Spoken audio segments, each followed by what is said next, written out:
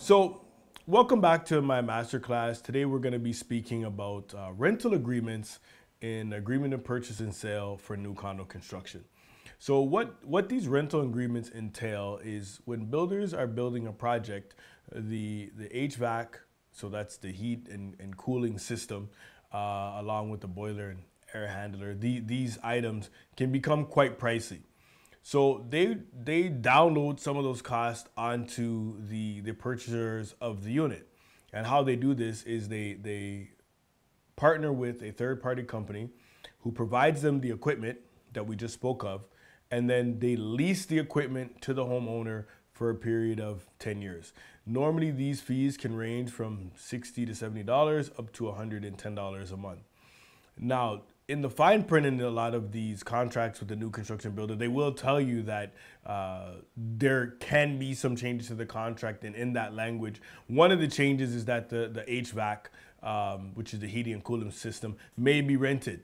Um, so when you're looking through the contract, you may want to draw your attention to that. Let your lawyer uh, take a look at it when they're looking through the agreement of purchase and sale and be aware of that. However, if you're caught off guard and, and you haven't gone through the contract with uh, as granular as you should have, and you get caught uh, at the end, you may have this this rental, and we've kind of described as as to why.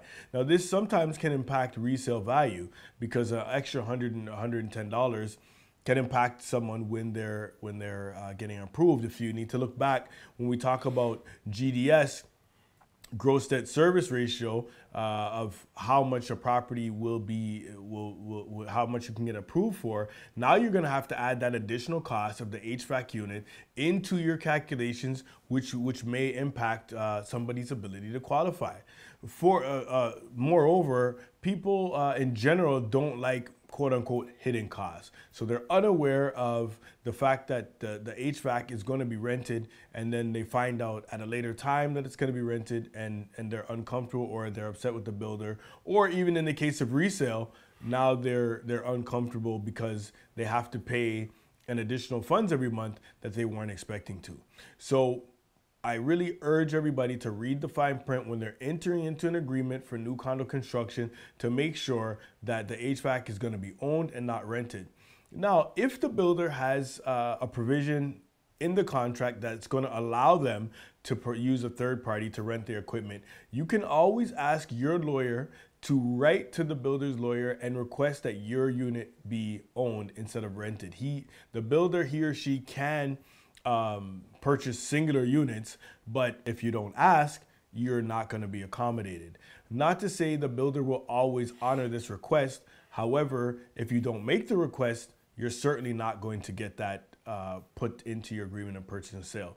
Therefore, whenever you are negotiating agreement, contemplating nego or negotiating agreement of purchase and sale, whether it be resale, buying for someone who's already locked into a contract of this nature, or new construction, make sure the HVAC is owned and it's not an additional expense for you to incur monthly.